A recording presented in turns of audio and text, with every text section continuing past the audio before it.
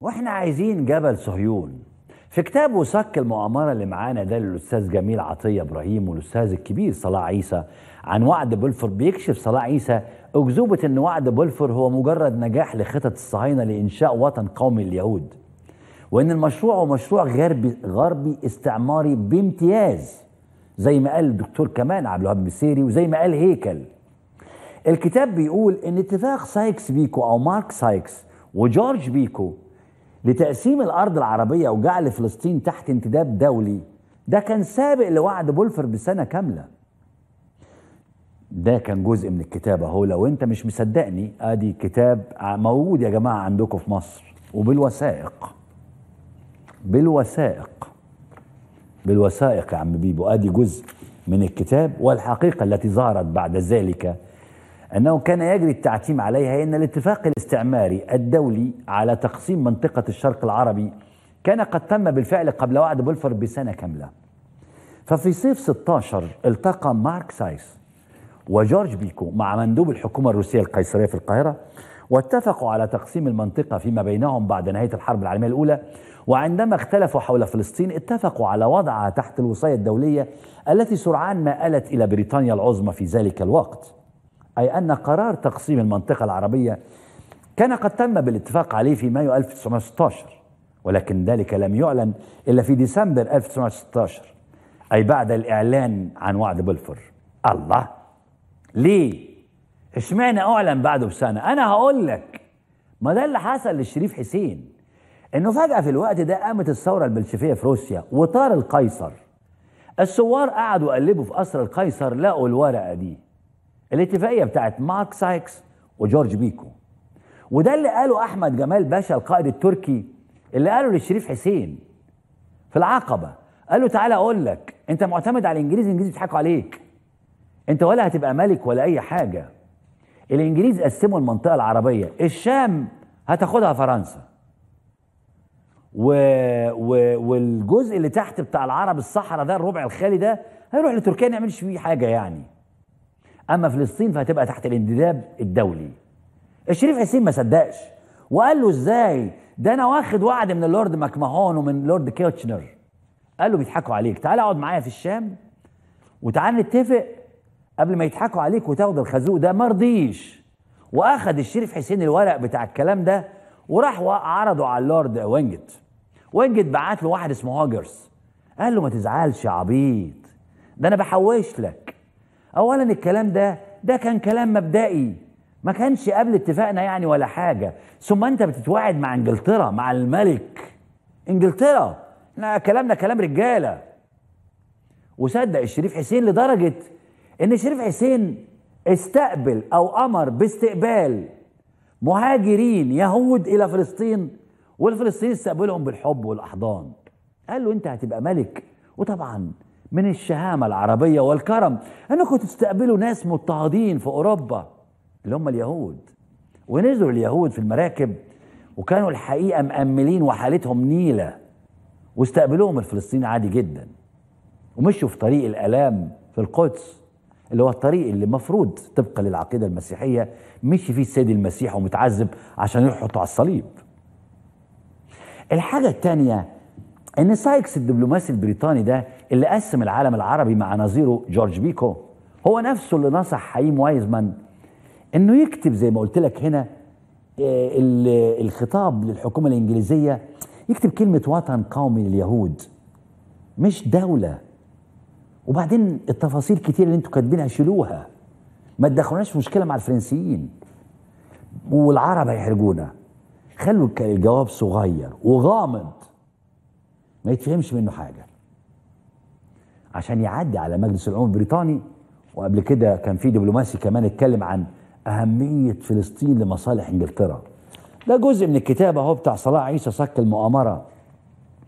وبيقول كذلك يذكر حييم وايزمان في مذكراته أن مارك سايكس هو نفسه الذي عقد اتفاق سايكس بيكو لتقسيم من مناطق النفوذ مع زميله الفرنسي وكان مستشارا بوزارة الخارجية البريطانية. هو الذي نصح الصهاينة بأنهم يغيروا الصياغة اللي قدموها لوزارة البريطانية وألا يضمنوها أي تفاصيل. وذلك يمكن لكي يمكن أن يمر في وجه المعارضة داخل مجلس الوزراء. أي أن سايكس الذي صنع اتفاق التقسيم في مناطق النفوذ هو نفسه اللي اقترح صياغة وعد بلفور. كمان الكتاب بيكشف إن بريطانيا قبل ما تطلع الوعد أو توافق عليه آه وقف الراجل بلفور وقال له دكتور وايزمان إحنا عندنا مشكلة إنه إحنا في تحالف مع أمريكا وأمريكا داخلة معانا الحرب فإحنا محتاجين موافقة أمريكا على الجواب ده. حييم وايزمان بيقول قلت له بمنتهى الثقة ما تقلقش إحنا عندنا ناس مؤثرين في البيت الأبيض ونقدر نأثر على الرئيس ويلسون. وقالها بمنتهى الثقة. ويلسون كان قال حق تقرير مصير بعد الحرب العالمية الثانية الأولى. حق تقرير المصير ده الصهاينة كانوا شايفين إنه ضد رغبتهم. لأنه حق تقرير المصير يعني إحنا هنعيش مع ناس تانية زي العرب. وكتب أحد الصهاينة الكلام ده رسمي. قال لأ كلمة حق تقرير المصير دي كلمة تزعجنا جدا. حق تقرير المصير يعني أنا والعرب هنعيش في نفس الدولة؟ لا. يعني أقبل واحد تاني معايا يعني؟ ما هو الأغلبية اللي موجودة في فلسطين أغلبية عربية وإحنا لسه شوية آلاف صغيرين. فالأغلبية العربية هي اللي هتحكم وإحنا مش عايزين كده بصراحة. وبالفعل أمريكا ويلسون وافقوا على كلام الصهاينة. أمريكا بعد كده هي اللي ورثت حماية إسرائيل بعد ما انسحبت بريطانيا من المنطقة. وده جزء من الكتاب عن استئذان أمريكا. بيقول كده لكن وعد بلفور كان أكثر من تصريح فلقد صدر عن القوى العظمى التي كانت فلسطين بنصيبها في مخاطرة التقسيم الاستعماري. وقد تولت بريطانيا سلطة حماية على فلسطين التي عرفت بسلطة الانتداب. وبذلك أصبح لهذا الوعد الذي لا يزيد عن 100 كلمة قوة مؤسسية نافذة بحيث يمكن القول بأن الكيان الصهيوني قد ولد في ذلك اليوم واقعيا.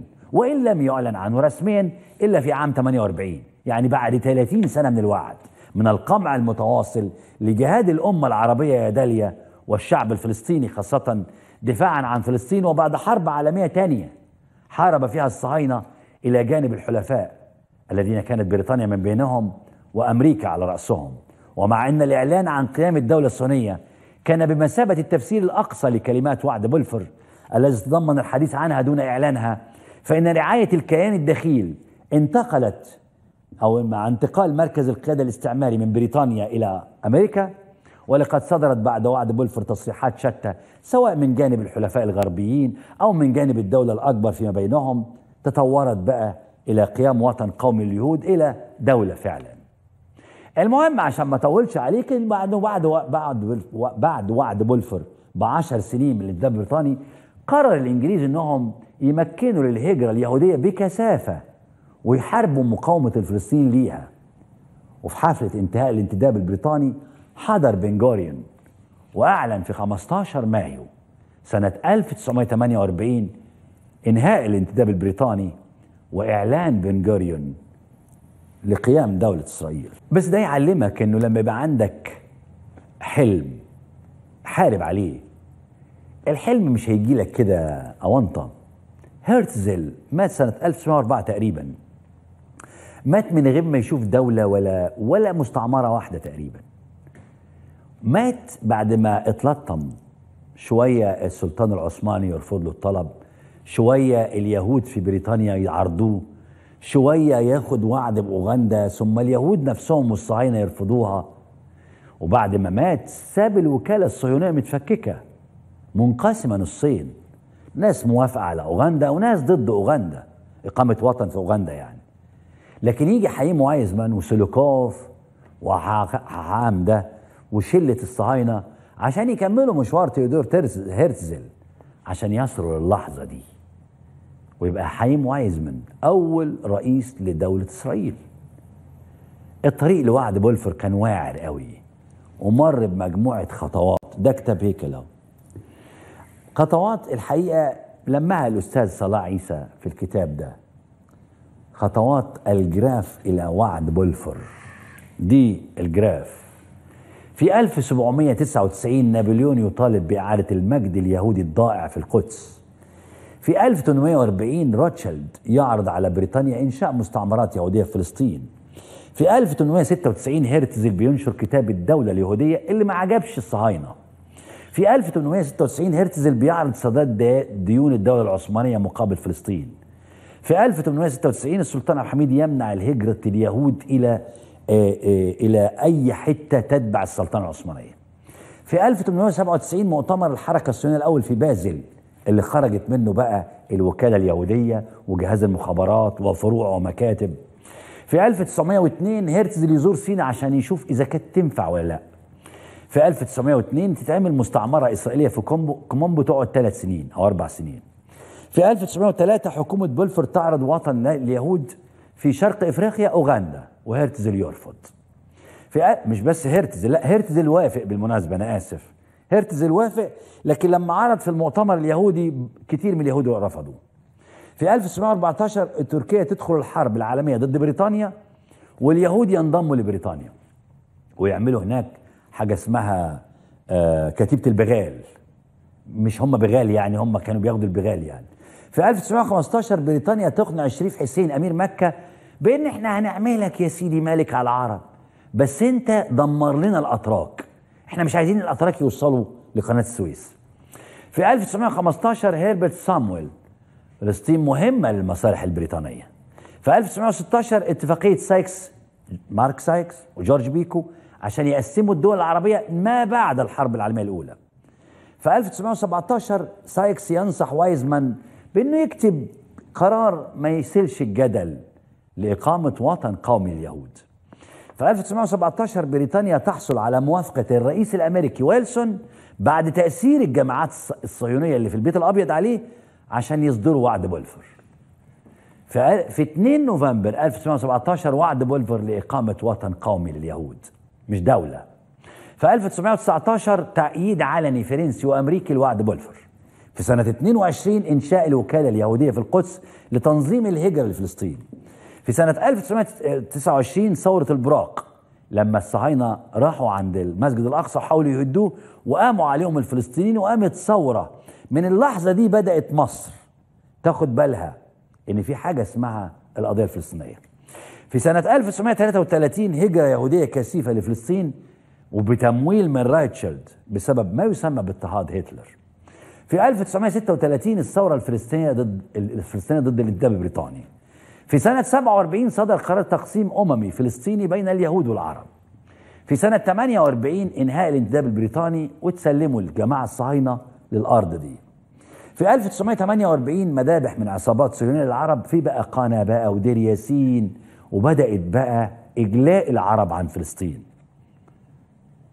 أنا ما حضرتش بس الناس القديمة بيكلمونا عن حاجة حلوة قوي البرتقان اليافاوي بتاع يافا. وفي صور كتير قوي أنا جمعتها للفلسطينيين وهم بيجمعوا. البرتقان من مزارع يافا. ما بقاش في يافا دلوقتي. نرجع تاني في سنة 1948 هزيمة العرب كلهم مجتمعين في حرب فلسطين وإعلان إنشاء إسرائيل. في سنة 1967 حصلت الحرب الثانية بيننا وبين الصهاينة واللي قدروا فيها ياخدوا القدس كلها والضفة الغربية نهر الأردن.